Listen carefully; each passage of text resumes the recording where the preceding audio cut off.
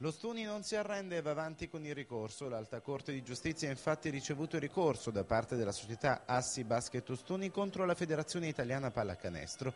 Il ricorso presentato dalla società è finalizzato all'annullamento del verbale del 13 luglio scorso della Commissione Tecnica di Controllo, con la quale la ricorrente non è stata ammessa al campionato di Lega 2 per l'imminente stagione sportiva 2012-2013. La società chiede in sostanza di far annullare questa delibera della FIP nella parte in cui si prevede la non ammissione del basket della città bianca al campionato, chiedendo la riammissione. Il reintegro comporterebbe però per la federazione la modifica di tutti i calendari già stilati. I tifosi sono in attesa così come l'intera squadra. Quello che è certo è che il patron Domenico Tanzarella è deciso a voler andare avanti anche presso la giustizia ordinaria. Intanto i giocatori dell'Enel Basket Brindisi a giorni partiranno per il ritiro pre-campionato, data scelta della società brindisina il 16 alla volta di Cisternino. Dalla società fanno sapere anche che si sta lavorando per sistemare ogni dettaglio di carattere burocratico per poter permettere alla squadra e allo staff di iniziare il campionato nel migliore dei modi.